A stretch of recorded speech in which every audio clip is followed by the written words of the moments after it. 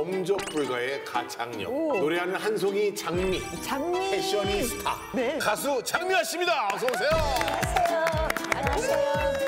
안녕하세요 또 만났군요 다시는 못 만나나 생각했죠 헬기를 타고 옮겨 밑에를 내려보니까 막 팝콘이 막 튀기는 거야 군인 아저씨가 저 밑에서 총 쏘는 겁니다 어머. 꼭 이루고 싶다는 거 있다면 우리 아들이 장가 가는 거예요 아들 장가 좀 보내주세요. 다른 거 하나도 안 바란다? 내 걱정은 하지 마. 내가 알아서 살을게.